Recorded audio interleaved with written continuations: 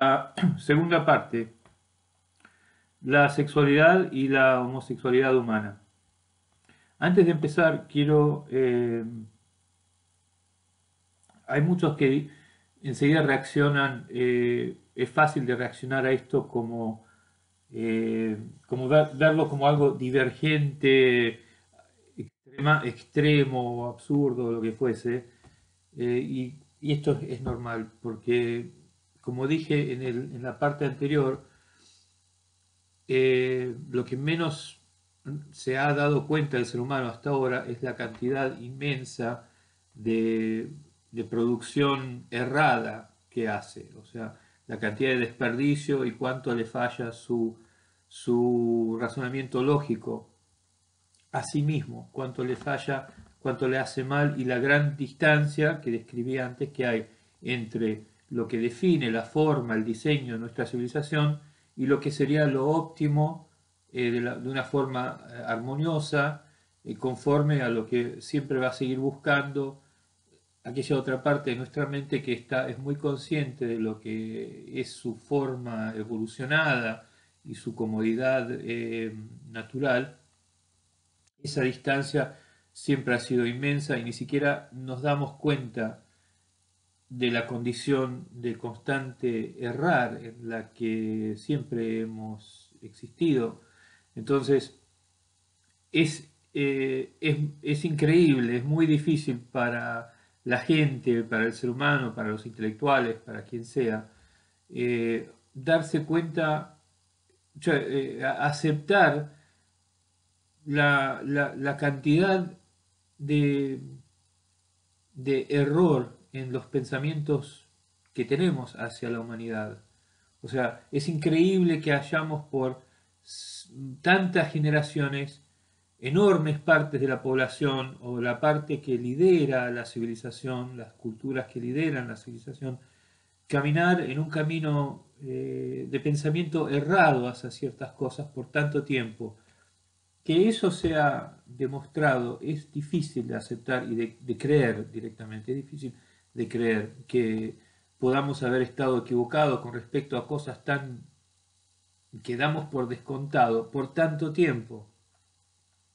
Y sin embargo, esa es la primera cosa que tenemos que hacer, es darnos cuenta que eh, la primera tendencia que tenemos en el razonamiento de la inteligencia crítica, no, la inteligencia lógica nuestra es eh, alejarnos de lo natural, errar hacia lo que nosotros siempre vamos a considerar lo óptimo y lo mejor, que no sabemos verbalizar, que no sabemos crear, que no sabemos inventar, porque aún no hemos eh, establecido ciertos, ciertas metas que nos llevarían a, maximizar nuestra limitada inteligencia. Nunca vamos a llegar a satisfacer lo que busca la naturalidad de nuestra intuición, de nuestra inteligencia, pero si establecemos ciertas metas, al menos aquello que somos capaces de ingeniar en cuanto al, diseño y a los inventos de la civilización, se van a parecer lo mejor y lo más posible, lo, más, lo máximo posible. Bueno, eh, sexualidad y homosexualidad. Eh, una cosa curiosa que, que es que muchos notamos es que la sociedad moderna ha creado como una separación entre lo que es la sexualidad social, o sea, mm, tener sexo socialmente, y eh, algo que ahora llama, denomina su función reproductiva, casi con un desprecio, eh, porque quieren como alejarse de eso para poder liberar lo que quieren que sea socialmente. Esto siempre me resultó muy curioso porque en realidad no hay forma de separar la sexualidad social de, la función natural de la sexualidad que es la reproducción, procrear la especie. Porque en efecto la, la naturaleza, o sea, la evolución, incorporó en la sexualidad todas aquellas cosas que nosotros hemos designado parte de lo social. El placer, la, Básicamente el placer, la, la, sociabilidad sexual, eh, que queremos distinguir están incorporadas. ¿Por qué? Porque la muy astuta creación, o sea, la evolución, hizo, eh, incorporó valores como atracción, placer, para engancharnos, para que querramos continuar a encontrarnos sexualmente. Eh, toda la biología y la química de la sexualidad tiene que ver con el objetivo de la, procreación, aunque nosotros querramos separarlos, esa separación no existe, la inventamos nosotros porque tenemos una situación de, tensión entre lo que busca la, lógica inteligente del ser humano socialmente y lo que nunca va a cambiar, lo perpetuo que es nuestro diseño natural. Un lado, y un cachito. Ok, entonces, eh, podemos hablar de la forma biológica, el diseño anatómico natural o como quieran, como querramos llamarlo, de la sexualidad humana como diseño único evidente en, el 99% de la especie. Y después voy a hablar también de lo que es la intersexualidad. Eh, y ese diseño único, eh, estamos hablando de cada uno de nosotros, porque no, hay eh, distintas versiones de la sexualidad humana. Hay una sola sexualidad humana que puede producir muchas eh, sensaciones según cómo se practica la actividad sexual, pero eso no quiere decir que no origina todo del diseño único anatómico que tenemos, que es del hombre y de la mujer. Eh, la naturaleza, o sea, la evolución, o Dios, porque al final no se separan estas cosas, siempre, se encuentra el punto en común. Eh, la intención cósmica por evolucionar la vida en el planeta. Siempre todo se junta, es la misma, mismo, eh, la misma narrativa. aunque la religión eh, nos ha causado tanto daño, no voy a hablar de la necesidad o por qué ocurre la religión en este, este momento, pero la, la, sexualidad, como dije, su propósito es la procreación. Nosotros hemos tomado los elementos que nos gusta y hemos, eh, nos hemos alejado y hemos creado divisiones en la sociedad para poder tener una sexualidad social. No estoy diciendo que esté mal, equivocado o nada. ¿eh? No estoy diciendo que todos tenemos que tener hijos. No, no, no. Que no se me malentienda, pero es importante que podamos verlo desde encima como una cosa única, la cual hemos eh, hemos formado eh, otras expresiones de la civilización humana que se despegan de su propósito procreador, pero que ese propósito procreador no está separado, no desaparece en la sexualidad social. Sí, la llevamos con nosotros, o sea, no, es que podamos eh, separar en argumentos intelectuales o ideológicos la sexualidad social, la sexualidad, eh, los aspectos de sexualidad eh, que tienen que ver con pensamientos civiles o, formas sociales de, expresar eh, la sexualidad, como podría ser la, homosexualidad social moderna, de la procreación. No, no son cosas que, que podemos olvidar como que quedaban por otro lado porque ahora no es lo que concierne siempre tiene algo que ver con las fuerzas, con las dinámicas, con la biología, con, todo lo que está pasando fisiológicamente en la sexualidad, practique como se practique la fuerza, las fuerzas, las fuerzas y las químicas y las biologías que nos encontramos en la experiencia de la sexualidad, de cualquier forma de su expresión social o de su formato social que le hemos creado, eh, siempre llevan con sí biologías, químicas, reacciones que existen por motivo de la, de la, procreación. O sea que no es que podamos separar estas dos cosas. Bueno, eso por, eh, por un lado. Como tal, cuando explico las cosas que voy a explicar, siempre son referentes al diseño de base no a una construcción ideológica que vino después, sobre la cual queremos armar razonamientos, sino que hablo del diseño natural de base, que explica también por qué ocurren cosas aún inclusive en las formas sociales, los formatos sociales que, hemos hecho de sexualidades eh, eh, eh, variantes en su práctica, en su comportamiento, supuestamente que no tienen nada que ver con la procreación. Aún en ellas se, puedo, se puede hablar de los por qué y las dinámicas y lo que te provoca a causa de su forma procreativa, o sea, de los dos géneros, del hombre y la mujer, que, es la base del diseño sexual en toda la vida, y ya he tenido esta, esta, pelea con varios que me dicen, no, porque hay muchas otras formas y que aparecen tantas excepciones. Bueno, sí, pero se puede hablar de una generalización que, eh, que termine, termina por crear un argumento único, que es la, sexualidad eh, femenina y masculina en las plantas, en los animales, en el ser humano, a través de toda la historia. O sea, lo que a mí me causa gracia a veces es que esa insistencia en querer decir, no, no es así, no es verdad, proviene como de un deseo caprichoso de romper las normas, las normas naturales de lo, de lo que ya fue creado y evolucionado a través de millones, millones de años. Quién sabe, viene, seguramente viene de otras partes del universo la forma procreativa de la vida en la Tierra. Y nosotros ahora queremos decir, no, pero puede ser cualquier otra cosa. Bueno, este, entonces, que se entienda que, eh, esta, esta es la referencia.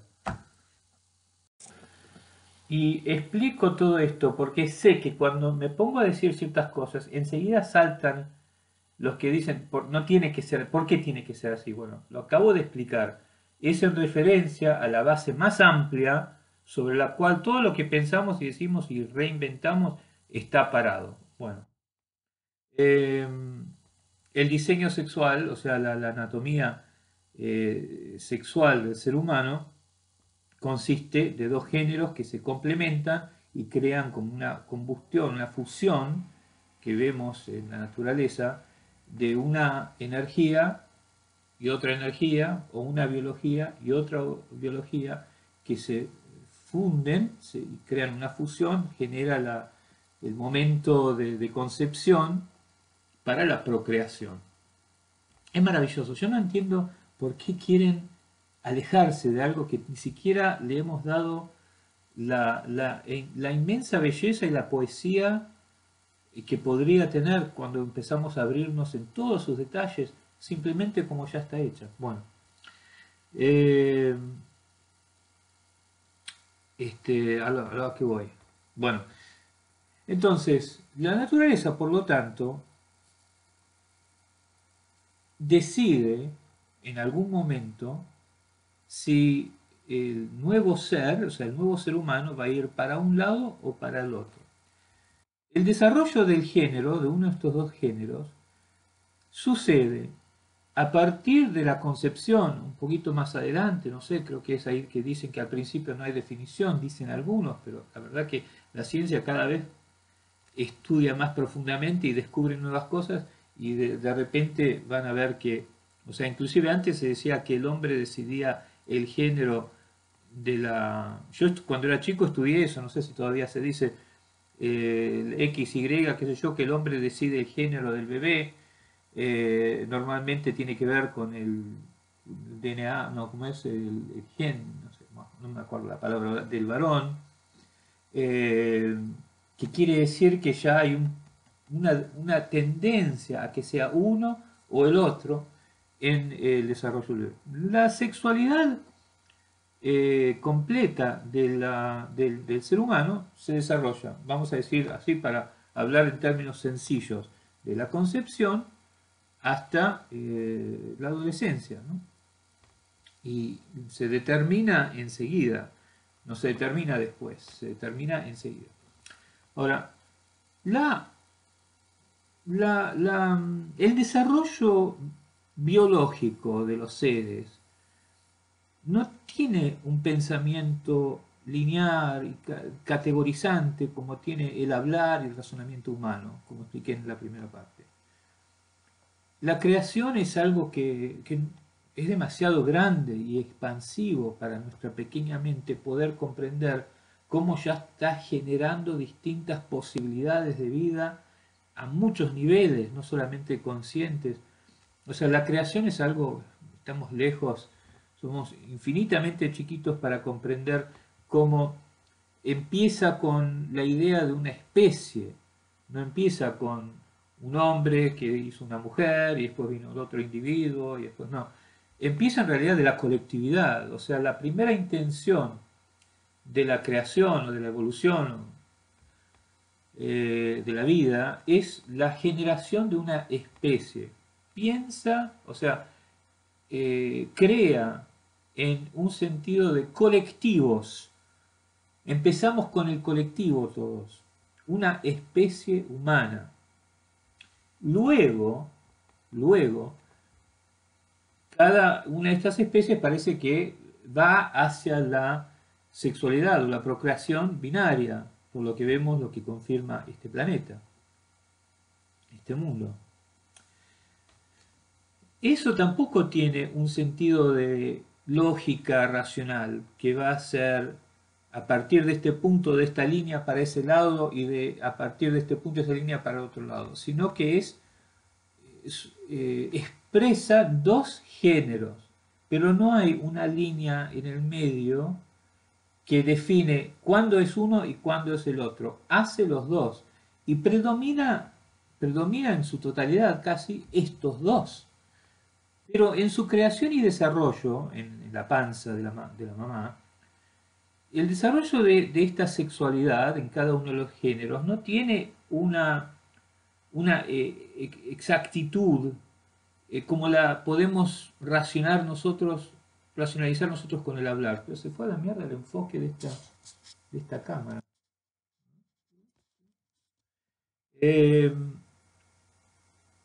entonces, ¿es imperfecta la naturaleza? Bueno, eso es un, es un tema filosófico, porque la imperfección de la naturaleza no es realmente una imperfección. Mirar las cosas, lo que creas, lo que es la creación, ¿cómo se va a decir que no, lo hizo bien. ¿Quiénes, ya explicando, habiendo ya explicado cómo, cuánto más somos capaces de comprender cognitivamente de nuestro pequeño lo que es la temporalidad del tridimensional, del existente constante y, e inmenso, infinito, no tenemos ninguna base de autoridad para decir que la naturaleza es imperfecta, pero podemos, inclusive comprendiendo lo maravilloso que es que puede crear en, colectividad sus, eh, sus, apariciones evolutivas, o sus, creaciones, sus seres, sus, eh, sus entidades vivientes,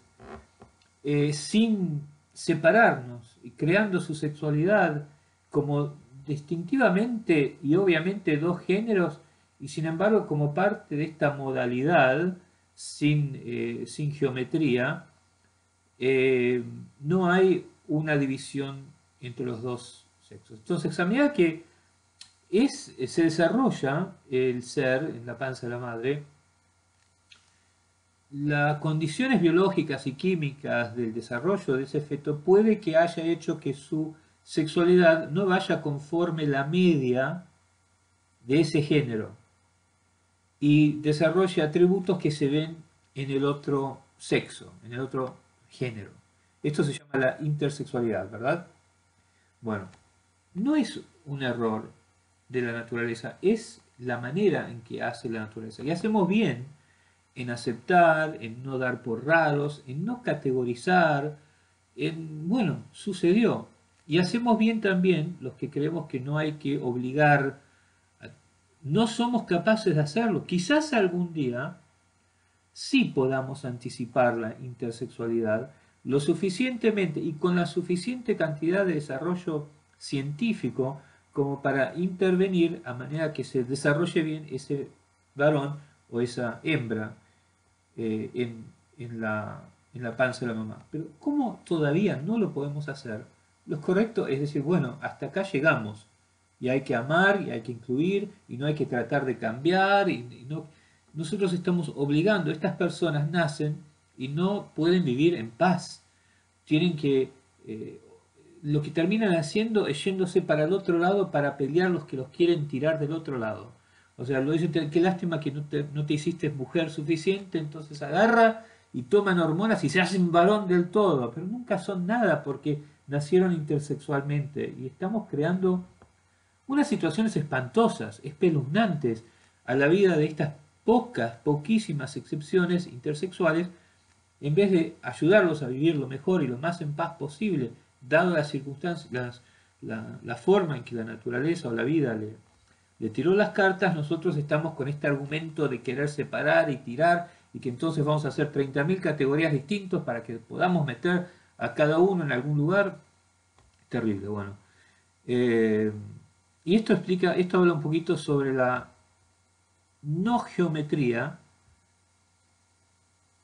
contrario a nuestra manera lógica, verbal, gramatical de, construir razonamiento y lógica, la no geometría de la, de la creación, de la vida, de los géneros que sí son o uno o el otro, femenino o masculino, pero eso no quiere decir que sea una imposición. Es más, la vida está diciendo, la creación está diciendo, ustedes son locos. Yo hago algo de una manera bien suelta, sin paredes, sin conformaciones, y ustedes andan paranoicamente construyendo categorías para escapar paredes que no existen. Eh, es terrible lo que el ser humano se enrosca hasta, hasta atarse cuerdas alrededor de sus, propias, sus propios tobillos. Bueno, esto solamente explica, no como dije al principio, sexualidad y, homosexualidad, sino que algo muy elemental, elemental de la eh, sexualidad. Y lo termino acá porque ya son 20 minutos y continúo con la tercera parte.